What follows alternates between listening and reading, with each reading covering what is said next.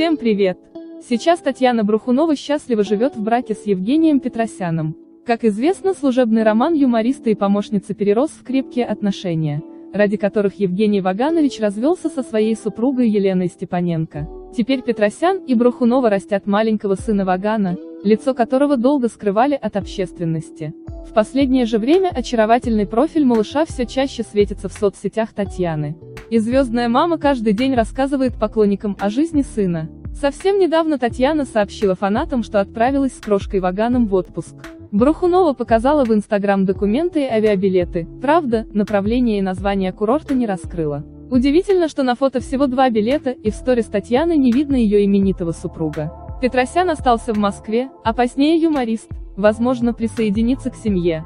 В основной профиль брюнетка поместила фото маленького Вагана, который сидит в кресле на борту самолета и с кем-то важно разговаривает через пульт.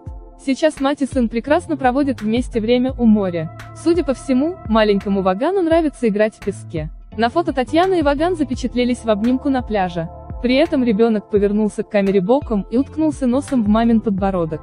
Снимок Брухунова сопроводила смайликом-сердечком. А у нас на этом все. Спасибо, что были с нами. Ставьте лайки, комментируйте. Всем пока!